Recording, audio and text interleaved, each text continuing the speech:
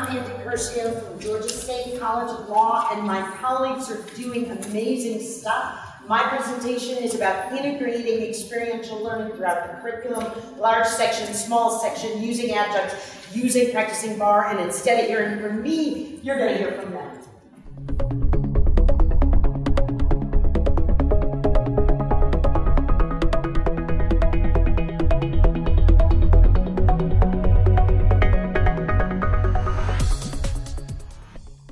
After years of teaching a two semester course on doctrinal contract law, we decided in our section of contracts to integrate doctrinal contract law with transactional contracts.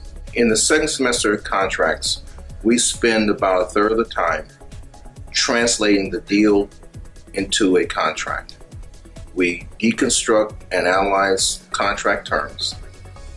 We perform a series of exercises focused on the organization of a contract, the drafting process, ethical issues arising from the drafting process, and contract terms and conditions. So, what I do in my nonprofit organizations class is I have each student create their own nonprofit organization.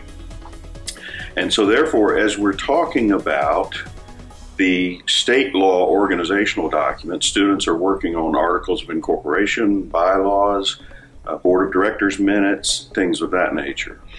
In two large section classes, civil procedure and evidence, I use case files that have documents that real lawyers use, police reports, medical records, witness statements, photos, etc as a way to teach students how the law that we're learning is actually used by lawyers.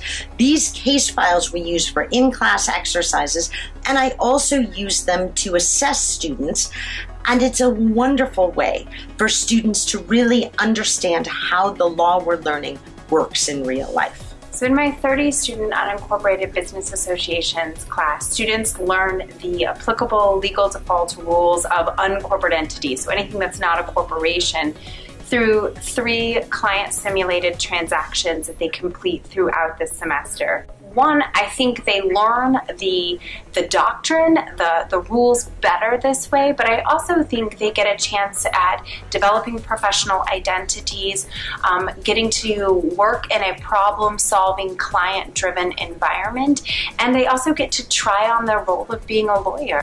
I teach Law and Health Equity, which is an experiential learning course, and it introduces students to the socioeconomic causes of chronic illnesses. And the students work in low income and minority communities in Atlanta to develop projects that mitigate these health disparities. Throughout the course of the semester, the students learn interviewing skills, client counseling skills. They develop the skills needed to um, teach and learn about health equity. So they really help the community in the education process. They really get a chance to get introduced to a group of people who are really engaged with them and who really respect their ideas. The students' main focus is making sure that the work and the final product is something that the, the community needs and it's not just something that the students are looking at from the outsiders and imposing on the community.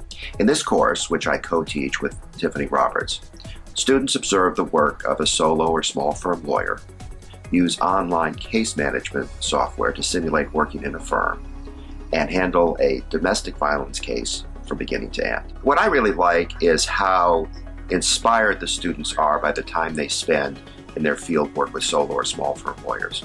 They come back to class and they write about it in their field work reports.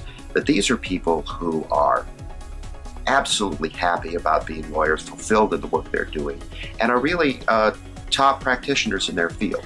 We developed a class, the Bankruptcy Assistance and Practice Program, which pairs teams of two students with an outside mentor attorney to handle all aspects of a simple bankruptcy case. I did the course mainly because I, I really enjoy working with students in in the trenches and what it's like to represent a client, what it's like to have cases and to give them that practical experience before they get out of law school. This fall, we're offering a new healthcare transactions and regulatory practicum.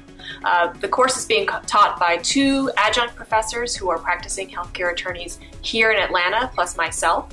Um, and it's a transactions course and it's a simulations course. We're going to take students through a series of mock transactions that are healthcare related, but they're not going to be representing real clients. So in this course, the students are going to learn a bunch of transactional and lawyerly skills that they typically wouldn't learn in the classroom. Um, these include writing contracts, drafting contract language, reviewing contracts, negotiating contracts, advising and interviewing clients. Um, and in this way, it really exposes students to a lot of skills that typically, you know, when you graduate from law school, you don't necessarily already have. My international human rights law seminars are designed to provide hands on experience for students in the work that's actually done by human rights lawyers. Each time we do a different topic, and we addressed immigration detention in Georgia, political prisoners, um, corporate responsibility, a variety of topics. My goal is for students to learn not only that international human rights law exists and how to find it and how to articulate it, but to see that real lawyers do this work and to learn how it's done and to participate in it to get a real feel for the litigation that's engaged in by human rights lawyers. So, in my health law class, I've got 50 students, and I wanted to integrate skills with doctrine to help the students understand their roles as lawyers, as well as to help them apply the doctrine. So, I did two exercises, one of which they had to speak with either a family member or a classmate and talk to them about their preferences for end of life care, and then write an advance directive based on that conversation. On the advance directive discussion, class of 50, half the students spoke that day. It was one of my most exciting classes because half the students spoke and they hit everything that I wanted them to get out of that assignment.